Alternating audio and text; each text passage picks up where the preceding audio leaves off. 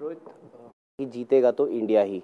आपके लिए personally emotionally या फिर उन खिलाड़ियों के साथ जिनके साथ आपने एक अरसा बिताया है आप कैसे देखते हैं इस दिन को? क्योंकि अक्सर ही कहा जाता है कि ये वर्ल्ड कप फाइनल है, इससे बड़ा कुछ हो नहीं सकता। आपके लिए काफ़ी वक्त हो गया है क्रिकेट खेलते हुए भी। तो आप और आपके इर्द गिर्द जो वो खिलाड़ी हैं जिनके साथ आपने वक्त बिताया इमोशनली आप लोगों के लिए कैसे है? नहीं, देखिए इमोशनली बहुत बड़ी बहुत बड़ी चीज़ है, बहुत बड़ा ओकेजन है।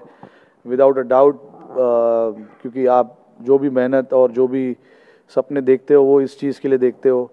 और आज वो दिन, आज नहीं, कल वो दिन हमारे सामने होगा। बट देखिए प्रोफेशनल एथलीट्स का यही सबसे बड़ा चैलेंज होता है कि आप ये सब चीज़ को साइड में रखकर अपने काम पर कैसे ध्यान दे सकते हो।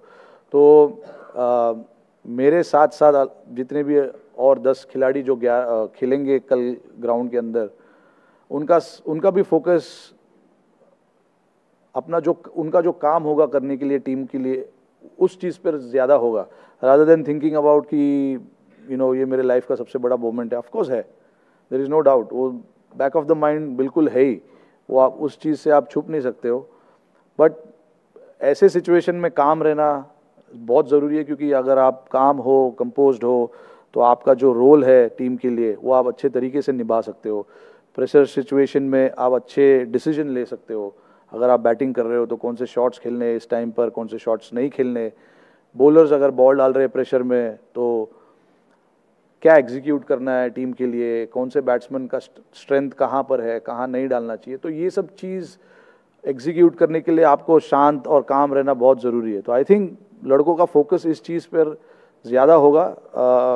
एंड देन ओकेजन तो है, जैसे मैंने बताया ओकेजन बहुत बड़ा है। ऐसे ओकेजन्स आपको हर बार नहीं मिलते फाइनल खेलने का मौका आपको हर हर बार नहीं मिलता है। और मेरे लिए ये सबसे बड़ा इवेंट है वर्ल्ड कप 50 ओवर बचपन से हम, मैं तो 50 ओवर वर्ल्ड कप देखकर बड़ा हुआ हूँ तो मेरे लिए ये सबसे बड़ा मोमेंट है। बट मुझे पता है कि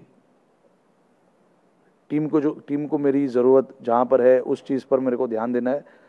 और बाकी जो भी चीज़ है, उसको थोड़ा सा, थोड़ी देर के लिए मैं साइड में रखना चाहूँगा।